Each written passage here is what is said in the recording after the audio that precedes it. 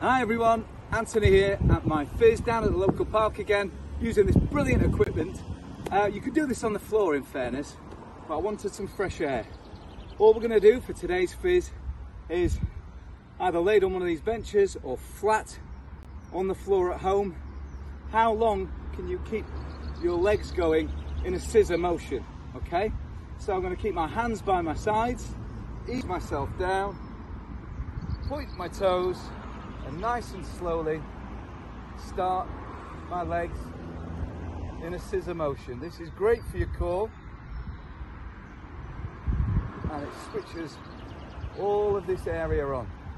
So keep your toes pointed,